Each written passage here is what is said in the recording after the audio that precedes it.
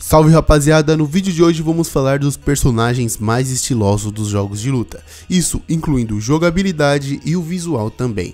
Então vamos lá. Começando aqui com Steve Fox, ele é um personagem da série de jogos de lutas de Tekken, jovem lutador de boxe, sua primeira aparição é em Tekken 4, mesmo tão novo Steve é campeão mundial de boxe, então sua gameplay é ali uns 90% só soco e esquivas. Ele tem uma gameplay muito estilosa por conta das suas esquivadas e dos seus golpes ali de box. A gingada do Steve é uma das coisas mais satisfatórias de fazer em Tekken 7, já que ele tem pouquíssimo golpes de chute que foi substituído por golpes de box. Então um personagem convencional, normalmente você aperta o X ou bola, que é o botão que dá o chute, ele vai dar um chute normal. Já o Steve, ele faz umas esquivadas, então ele tem uma gameplay bem difícil ali de se adaptar, mas quem sabe jogar com ele é algo de se impressionar com o estilo estilo e a variedade de golpe que esse personagem tem. He had it. It was over wait, right wait, there. He still has it though. Oh! Oh! As soon as you God! say something, Rip. I'm As soon sorry. as you say something. What? I didn't drop the combo. He dropped the combo. Oh my God!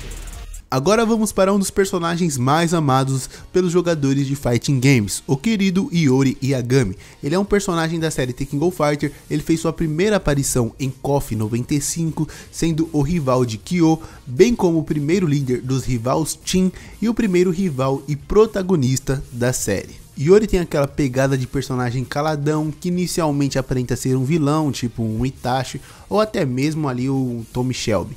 Com um visual meio cowboy emo e magias negras, ele ficou bem estiloso e se manteve em todos os jogos da franquia. Destaque para o KOF 97, onde ele é possuído pelo Orochi e fica com a gameplay bem bufada. E em campeonatos do KOF 98, ele era quase sempre escolhido. Sua gameplay tem combos bonitos, command grab e magia azul escura, sem dúvida um dos personagens favoritos da galera.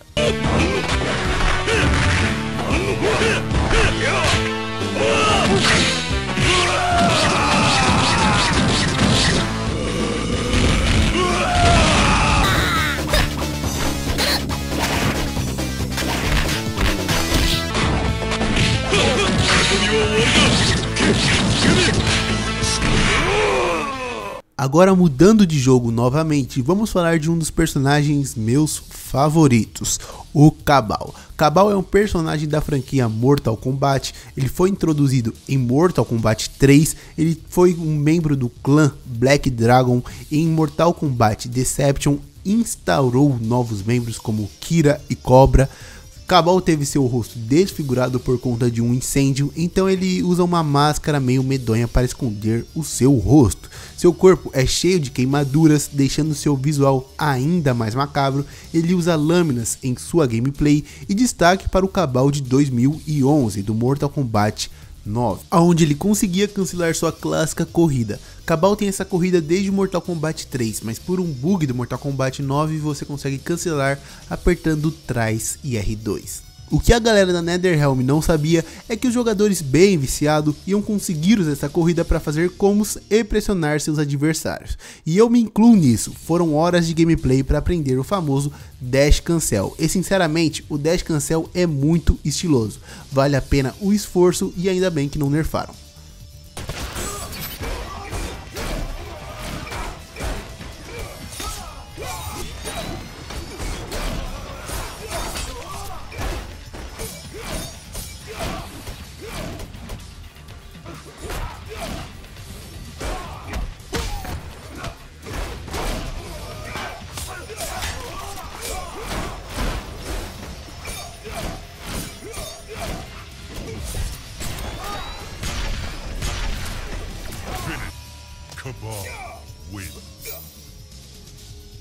Indo agora para um jogo que está ganhando seu espaço nos fighting games por sua gameplay sensacional, vamos aqui com Dragon Ball Fighter Z. E o personagem estiloso da vez é o Goku Black.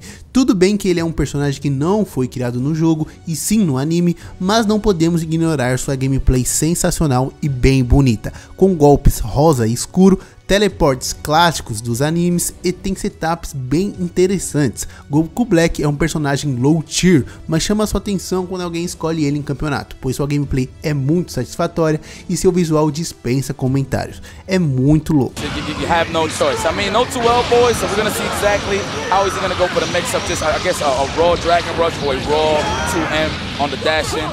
Air dash. Good start. Spike him back up in the air, drop him with the God Slicer, drop that Holy Light Grenade. Hmm, right back at you. Fireball teleports in, Kubo with the up back. And this is where ah! Goku Black, he really excels here with his rounded oh! normals. The auto He got it. No, Kami brings it all the way. Bom, falando de tanto personagem estiloso, o Akuma do Street Fighter não podia ficar de fora, né?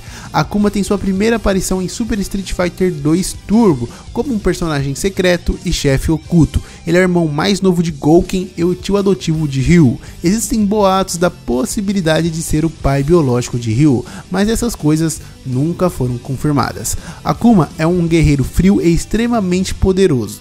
Sua única razão de viver é aprimorar suas habilidades lutando e destruindo inimigos muito fortes.